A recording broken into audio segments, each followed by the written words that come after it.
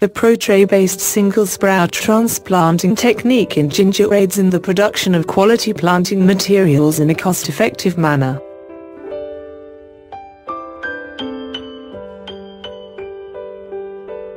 This unique technique involves raising transplants from single sprout seed rhizomes in ProTrays filled with soil-less medium.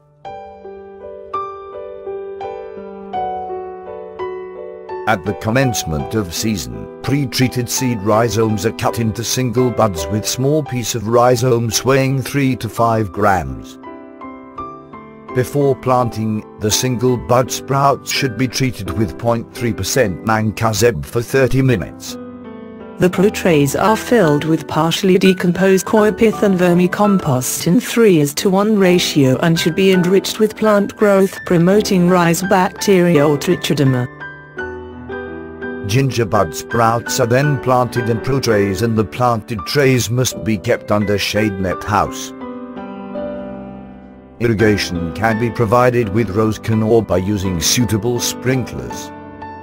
Seedlings will be ready within 30 to 40 days for transplanting. The advantage of this method is the reduction in seed rhizome quantity and eventually reduced cost on seeds.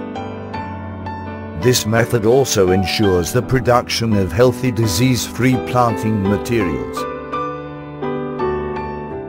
If the climate is not favorable for planting, the seedlings can be kept in shade net houses for about two months. Ginger rhizomes transplanted by this method shows 98 to 100% field establishment.